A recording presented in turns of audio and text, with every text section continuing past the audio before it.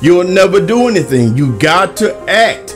Faith, the scripture says this that faith without works, Hebrews 11 1 emphasizes that faith without works is dead. It simply says it's without works, without action. Faith without action is dead. Let me say it to you again. Faith without action is dead. If you want a new house, if you want to lose weight, if you want to need more in God, if you want to read the word, if you want to study, you want to be a preacher, you want to be a leader, you want to be a school, it takes action. I've been seeing so many people graduate, but it took action for them to get to work. If they be lazy and don't do nothing, they will not graduate. I remember this man years ago. He he was in school with me, but he graduated. He was almost 20 something years old. He was still in high school. He was doing about 23, 24. But he graduated. It took a little more action, but he graduated. I'm saying to you that faith without works is dead.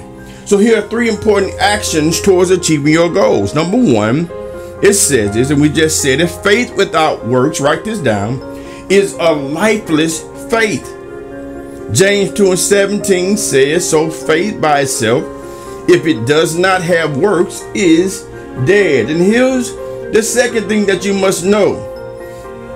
It says this that number two, diligent planning leads to abundant success. That simply means you got a plan to take some change. You got a plan to do things different. You got a plan to make moves. Don't allow yourself to think that there's no planning involved because planning has to has to happen. There's some type of plan. It's like I wanted to move into a better home, but I'm like I ain't making enough money. So either I make more money or I go to a lesser home. It has to be a plan. So the plan is to get more money because I don't want to go to something less. I want to go to something greater.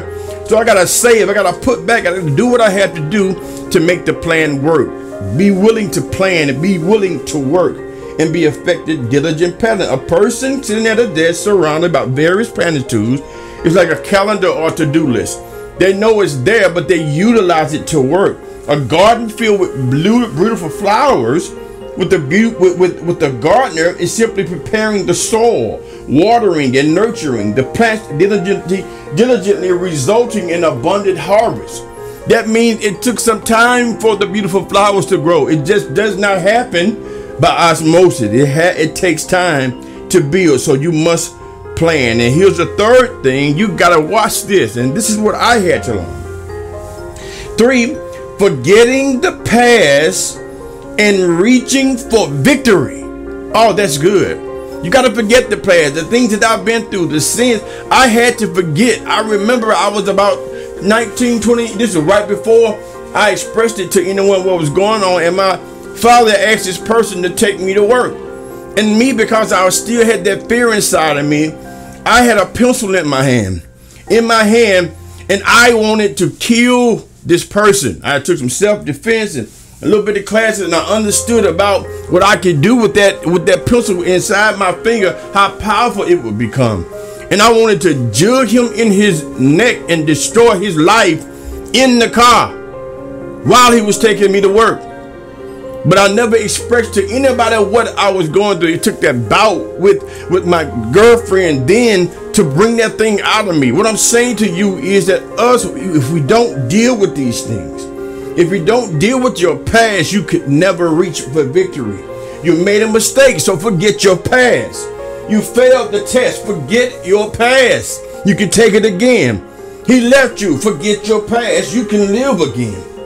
This simple, the business did not work. Forget your past. I'm telling you that when you forget your past and keep moving, and keep moving. Yes, there's a refresher. Yes, you see things that remind you. Yes, things may go through your mind. But what I'm telling you is you got to forget it. And only the Holy Spirit can help you forget it. And when you remember it, it will be to heal someone. Philippians 3 13 through 14 says this, brothers and sisters, I do not consider myself yet to have taken hold of it. But one thing I do, forgetting what's behind Pressing toward what is ahead, I press on toward the goal to win the prize. So there's three types of motive that we must take. There are wrong motives, there are right motives, and there are intentional motives. We are going to be intentional. The first step we're going to do, we're going to acknowledge and face traumatic event, traumatic events head on. Start about listing your negative traumas you have experienced and try to get to the root cause of the pain or anxiety. You can't do it, get someone who can help you. Like like like like Pop Robertson did for me and Mother Robertson did for me. They helped me to understand who I was at as a man. They helped me to deal with these things. It wasn't my brother, it wasn't my sister, it wasn't my father, it was an enemy. It took someone outside of without my normality to help me deal. And there were others in my life.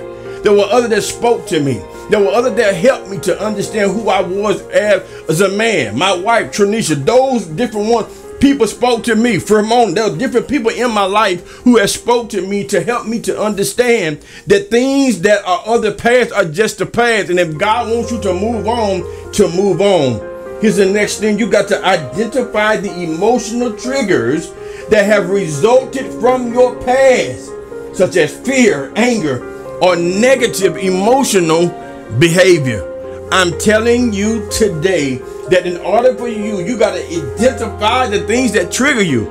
If something causing you that triggers it down, that's something that you need to pray and work on. If things are not changing with that thing that trigger, you need to work on and be healed from that. And here's the final thing, the final step is work through the issues identified that we just spoke about in order to gain a clear understanding of yourself and your identity and your purpose. I say that each and every one of you today that God wants to heal you and you are healed. You can live in the purposes of God. You can live in a new life, but you got to know that in order for you to move forward, you got to deal with the root that has been lodged into your spirit.